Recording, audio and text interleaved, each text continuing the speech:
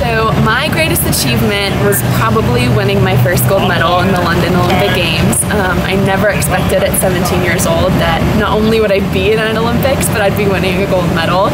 It still is a dream and it doesn't feel like it actually happened. But that moment, standing on the podium, watching the American flag and hearing my anthem was one of the greatest and proudest moments of my life.